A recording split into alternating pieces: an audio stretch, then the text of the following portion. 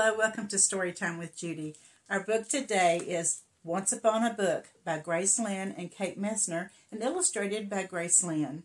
Well, Alice was very bored. She was tired of winter and she was tired of wearing sweaters and winter clothes. And she was just bored. She decided to open a book because she was looking for something to do. Well, the book told her to come on in, so she did. Let's find out what happens. Alice was tired of heavy sweaters and thick socks and staying inside with nothing to do. I wish I were someplace that wasn't so frozen and gray, she grumbled to her mother. She began to stomp away, but something flapped nearby. It was the pages of a book. Curious, Alice began to read.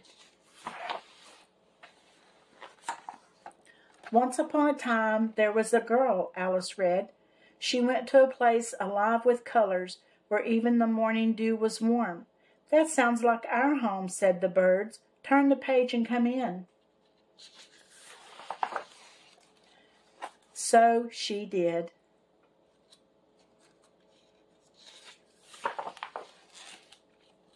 The air felt as if it came from the oven, the book said. The girl and the birds played among the flowers.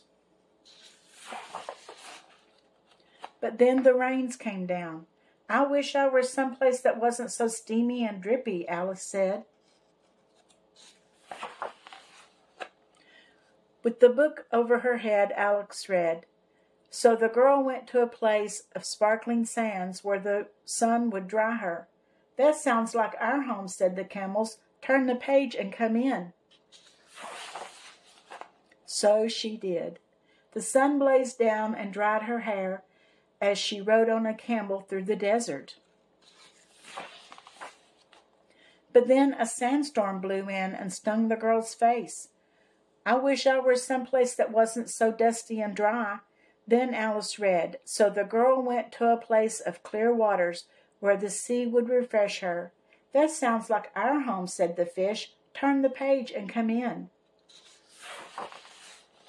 So she did. The gentle water soothed her as she swam with the fish through the coral reefs.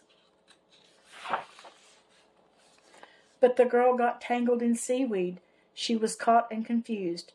I wish I were someplace that wasn't so cramped and crowded. Then Alice read. So the girl went to a place of wide open blue where she would be boundless and free. That sounds like our home, said the clouds. Turn the page and come in. So she did.